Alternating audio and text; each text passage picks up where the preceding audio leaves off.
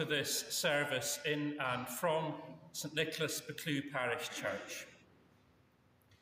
Following the visit of the Magi to the infant Jesus, which we thought about last week, we're moving further on into the season of Epiphany. The word Epiphany in general means an appearance or manifestation of a divine being, and that's why it's applied to this particular event and to this season. But the idea of Epiphany underlies our worship at this time. And today we'll be hearing two readings about hearing the call of God, which ultimately are about how people make manifest the divine in their lives. So let us worship God. We sing hymn number 553, Just as I Am, without one plea.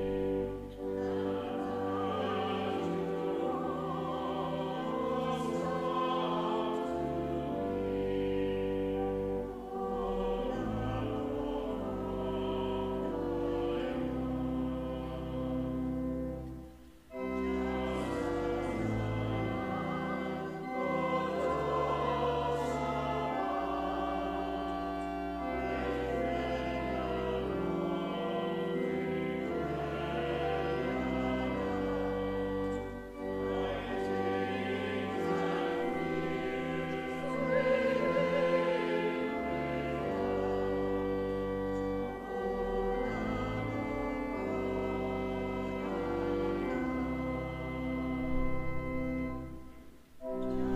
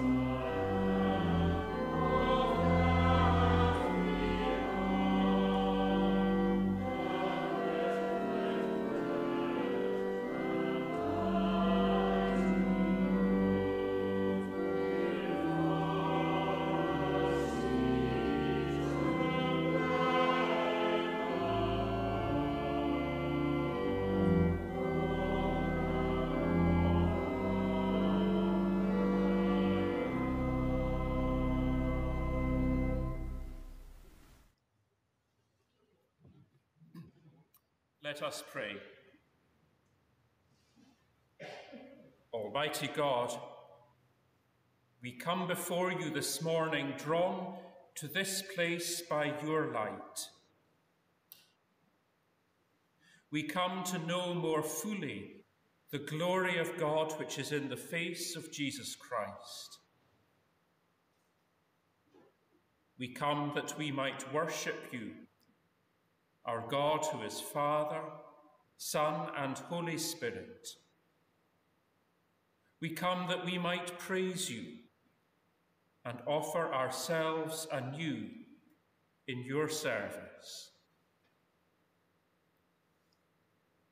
and we come that our way may be lit by your light, and our path made plain by the glory which shines from you. Let us make confession of our sins before God. Almighty God, maker of all, have mercy upon us. Jesus Christ, Son of God, have mercy upon us. Holy Spirit, breath of life, have mercy upon us.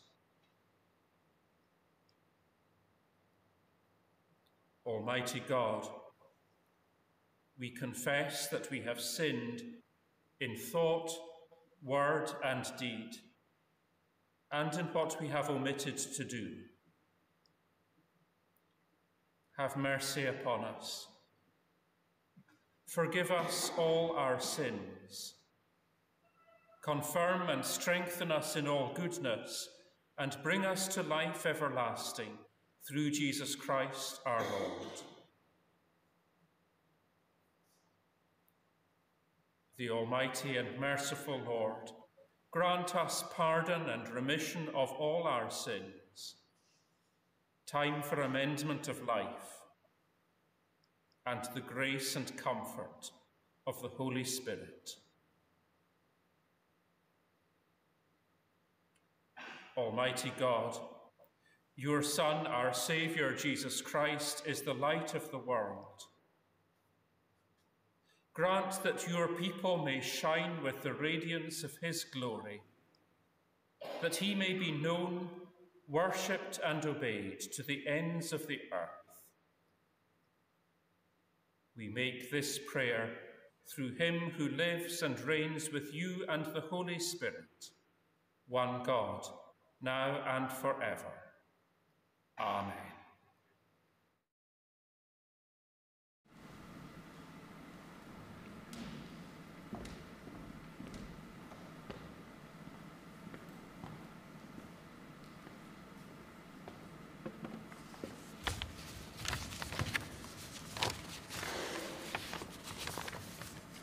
First reading, a reading from the first book of the prophet Samuel. Now, the boy Samuel was ministering to the Lord under Eli. The word of the Lord was rare in those days, visions were not widespread. At that time, Eli, whose eyesight had begun to grow dim so that he could not see, was lying down in his room. The lamp of God had not yet gone out, and Samuel was lying down in the temple of the Lord, where the ark of God was. Then the Lord called, Samuel, Samuel, and he said, Here I am, and ran to Eli and said, Here I am, for you, you called me. But he said, I did not call you. Lie down again. So he went and lay down. The Lord called again, Samuel. Samuel got up and went to Eli and said, Here I am, for you called me. But he said, I did not call you, my son. Lie down again. Now Samuel did not yet know the Lord, and the word of the Lord had not yet been revealed to him. The Lord called Samuel again a third time, and he got up and went to Eli and said, Here I am, for you called me. Then Eli perceived that the Lord was calling the boy. Therefore Eli said to Samuel, Go, lie down, and if he calls you, you should say, Lord, speak, for your servant is listening. So Samuel went and lay down in, this, in his place. Now the Lord came and stood there, calling as before, Samuel, Samuel. And Samuel said, Speak, for your servant is listening.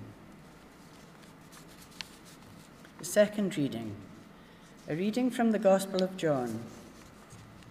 The next day, Jesus decided to go to Galilee. He found Philip and said to him, Follow me. Now, Philip was from Bethsaida, the city of Andrew and Peter.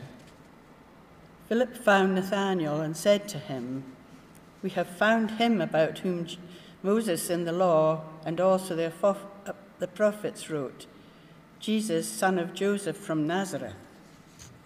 Nathanael said to him, Can anything good come out of Nazareth? Philip said to him, Come and see.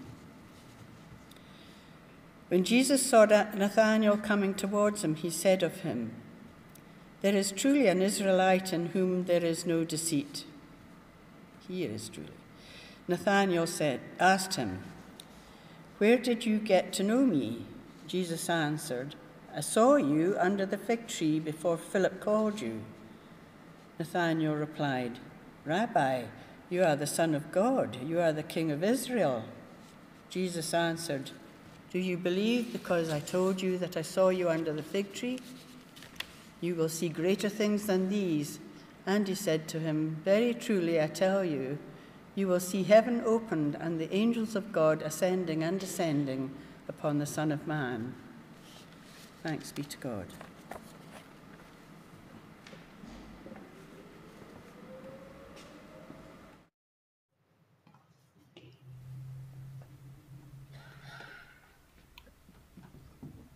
Continuing a little theme we started last week of New Year, new or newish hymn, we're going to sing number 97, hymn number 97.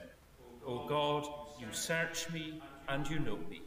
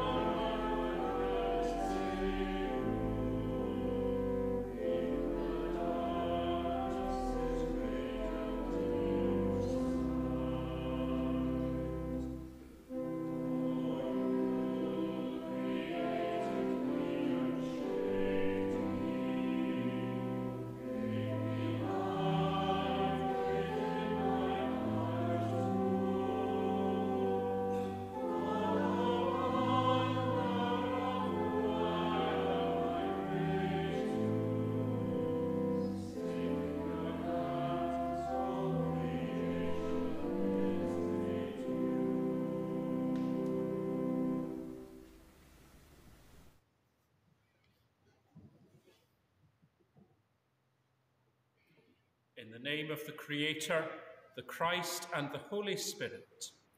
Amen.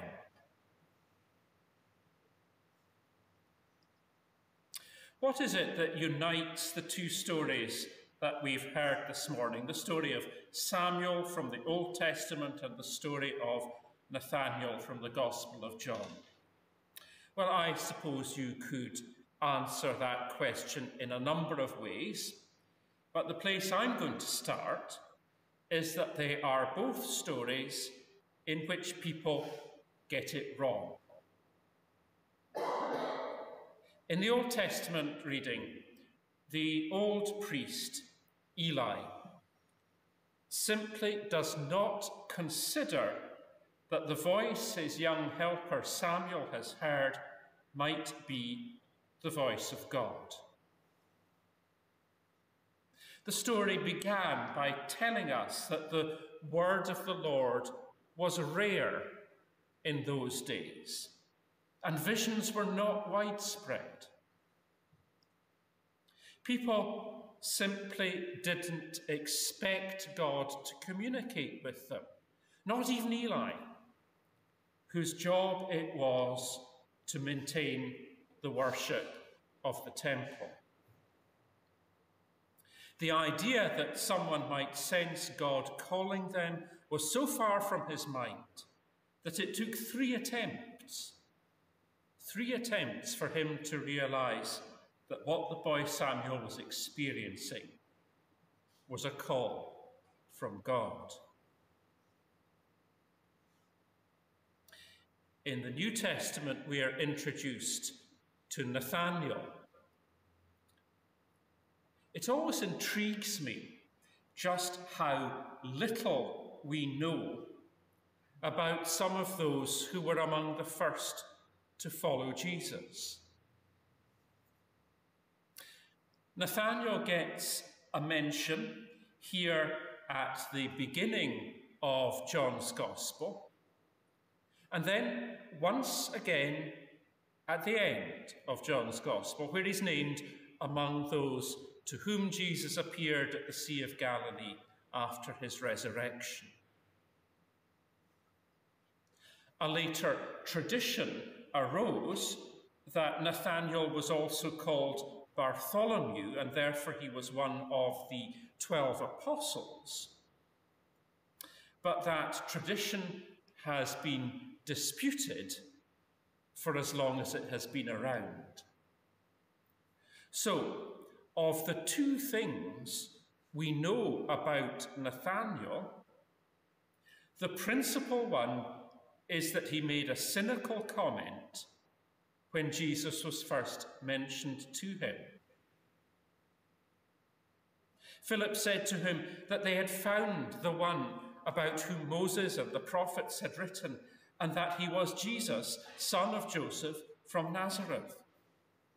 And Nathanael asked, Can anything good come out of Nazareth? He made a sarcastic joke. He wasn't interested. He got it wrong. Philip, though, said, Come and see. He wasn't going to be put off. He sincerely believed that he had found in Jesus the one of whom the prophets had written and spoken. Jesus of Nazareth had said to him, Follow me. And he had followed.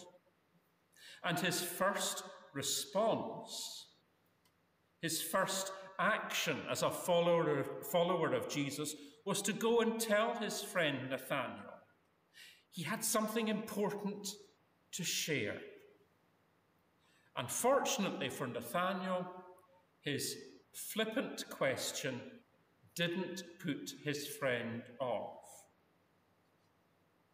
Philip could have said, Have it your own way, see if I care. But he didn't. This was too important. As John tells it, the ice is broken with a, a compliment from Jesus. Here is truly an Israelite in whom there is no deceit. What a nice thing to say. And Nathanael is intrigued. Where did you get to know me? he asks. Jesus answered, I saw you under the fig tree before Philip called you.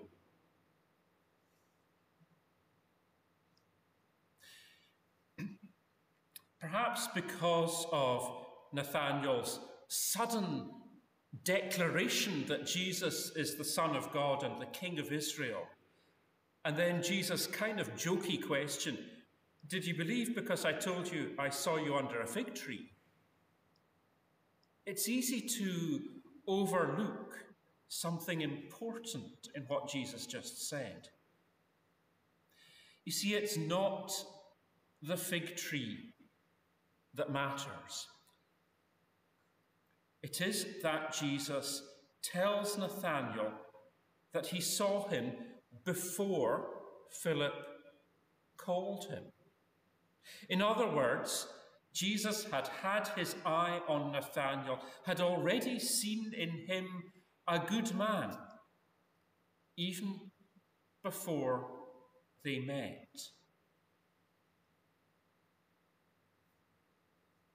I do wonder, though, about Nathanael's declaration. You could read it in two different ways. It is either an honest declaration of complete and sudden conversion, or it's another sarcastic remark Nathaniel mocking his friend Philip for being so gullible to think that a man who sees another under a tree must be the long promised Messiah. But as Philip was not put off, neither was Jesus. Telling Nathanael that he would see heaven opened up and angels ascending and descending. Of course, the text offers nothing more to explain any of this. Because, as I said, Nathanael isn't mentioned again till the very end of the Gospel.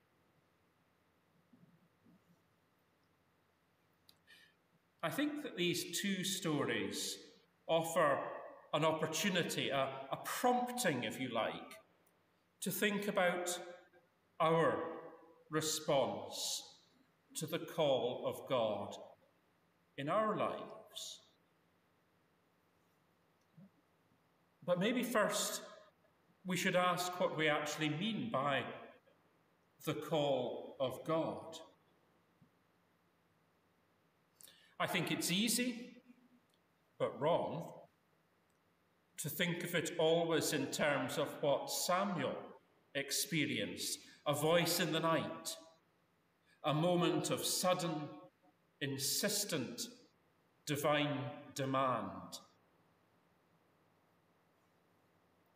Most people, I suppose, go through their entire lives without anything like that ever happening. And therefore, if that were to be our expectation, that that is what the call of God is, we would probably conclude that God isn't calling us. But rather, I suspect that actually the call of God comes in many different forms.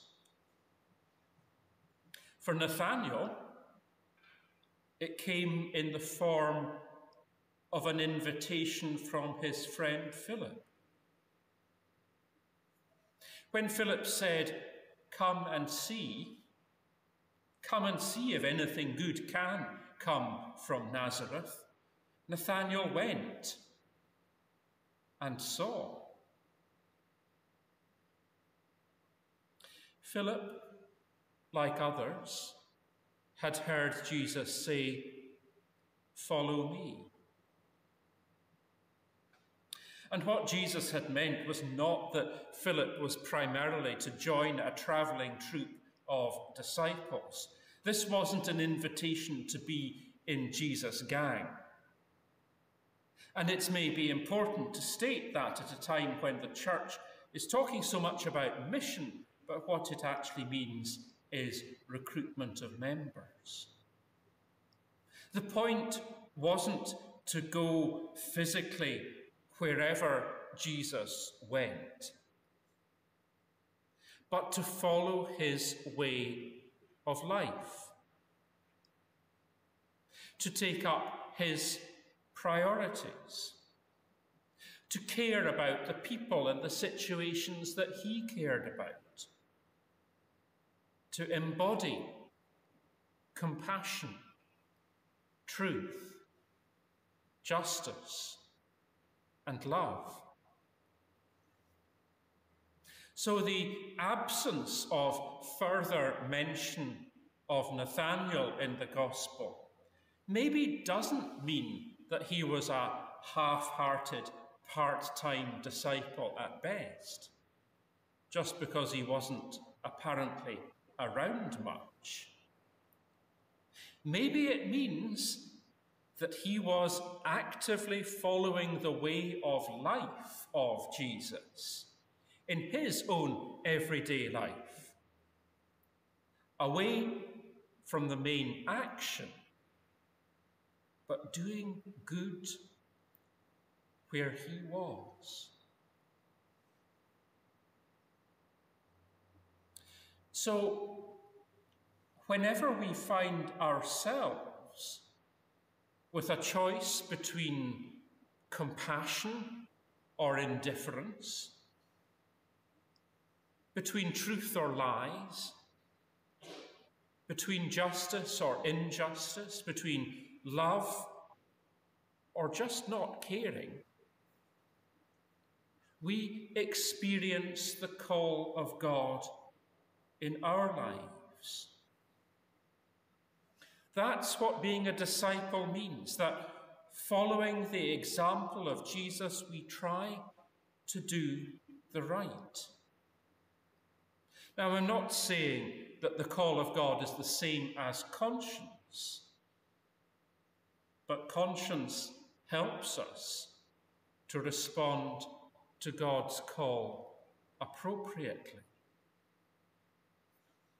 And it is through our discipleship, our responding to the call of God in our lives, that we make manifest the presence of the divine, that we live epiphany. Like Eli and like Nathaniel, we'll have plenty of opportunities to get it wrong. But like Eli and like Nathaniel, we'll also have plenty of opportunities eventually to get it right. Amen.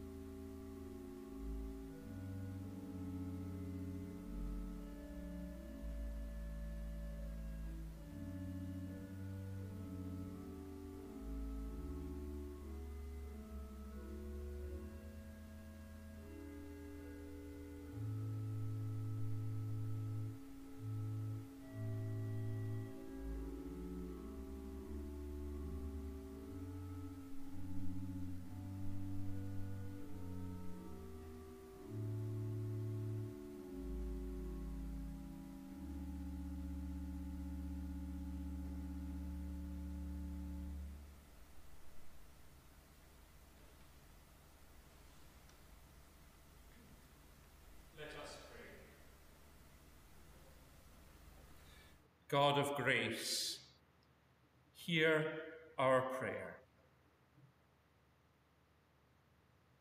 We pray for the world, for leaders of nations, that wisdom and integrity will prevail for the good of all people, especially the poor.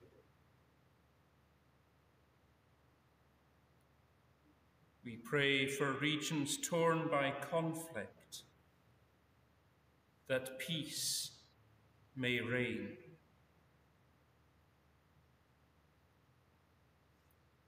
God of grace, hear our prayer. We pray for all people of faith, for the unity of the body of Christ, that divisions might not turn people away from the church And we pray too for sisters and brothers of other faiths, that we may live at peace and with respect for one another, that together we may serve the common good.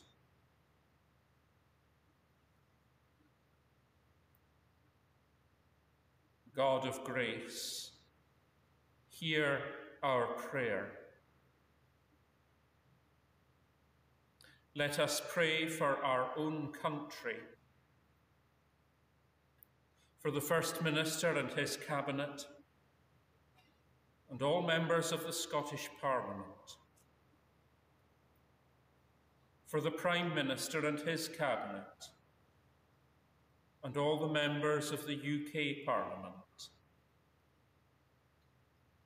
for the leaders and members of the other devolved administrations. We pray for our police and armed services, commending to you the important work they do. We pray for all who teach, for all who care, for all who work in public service and in local authorities.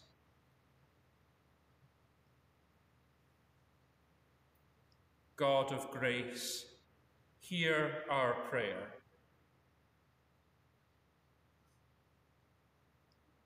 We pray for those in need,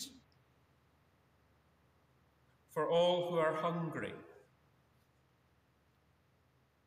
for those who have no home or no employment, for those who are either unjustly or indeed justly imprisoned, for parents and children who live in fear for any reason, and for all who are in mourning.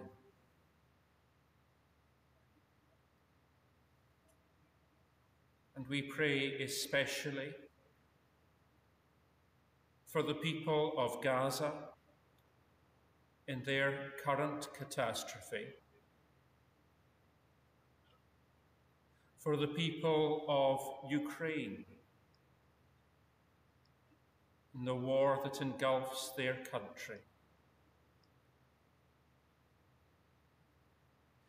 And we remember two people enduring all forms of military violence or terrorism in Israel, Lebanon, Syria, and Yemen. And we hold before you the people of Taiwan following their recent presidential election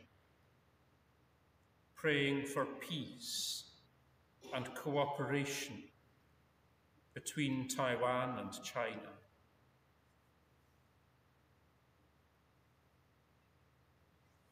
God of grace, hear our prayer. With thanksgiving, we remember all those who have shaped us in your ways, O God. Those who said to us, Come and see. May we follow their example for those who will come after us. We ask all these things, praying in our Lord's own words, saying, Our Father, who art in heaven, hallowed be thy name. Thy kingdom come, thy will be done on earth as it is in heaven. Give us this day our daily bread, and forgive us our debts as we forgive our debtors. And lead us not into temptation, but deliver us from evil. For thine is the kingdom, and the power, and the glory forever. Amen.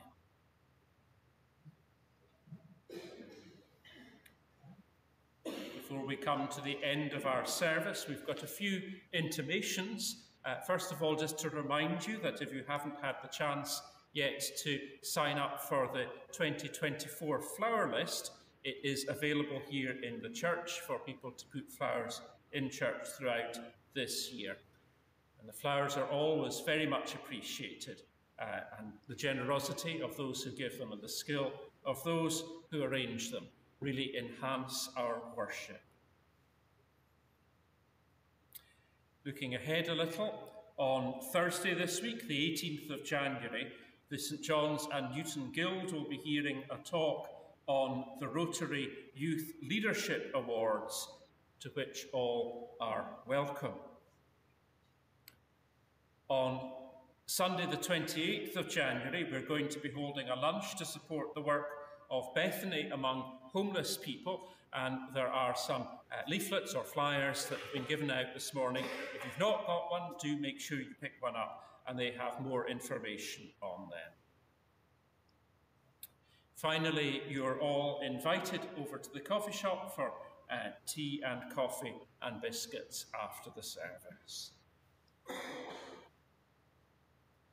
Reflecting on the call of God in our lives and the call of Jesus to his first disciples, we sing our concluding hymn, number 509 Jesus Calls Us O'er the Tumult.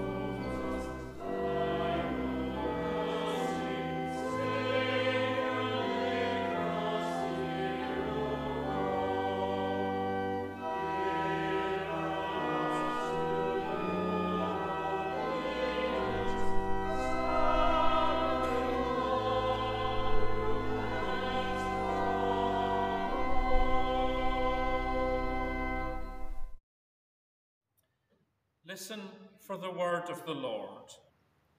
Trust that the Holy Spirit will guide your choices. In each person you meet, look for the presence of the divine. And do not try to hide what is divine in you. And the blessing of God, Creator, Christ, and Holy Spirit, rest upon you all this day and forevermore.